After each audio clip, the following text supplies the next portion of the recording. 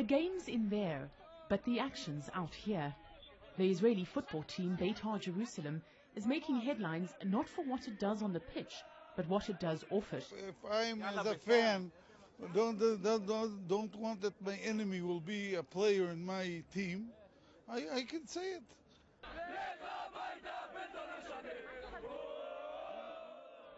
Chants like this, we hate all Arabs, are only the tip of the racist volcano.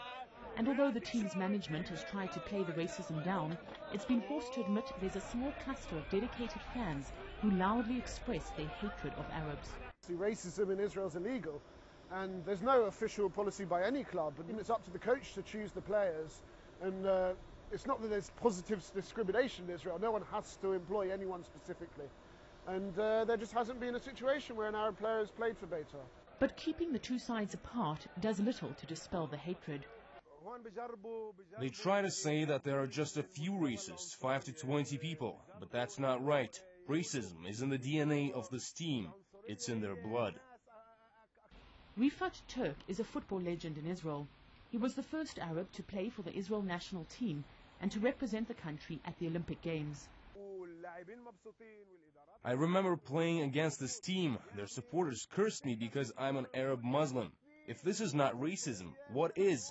And the problem is that the law in Israel does not know how to stop them. It's not good. They're doing it for nothing. These players from Chechnya aren't with the Jewish people. They're not with the team. We have different values. We don't want our enemies to join our team. Arabs from Chechnya, it's the same thing. We don't want Arabs to join. While other countries have faced international sanctions for racist incitement by fans, Israel has so far avoided such close scrutiny. But fears are growing that the beautiful game there is slowly being turned into a source of violence, racism and hatred. Paula Slier, RT, Jerusalem.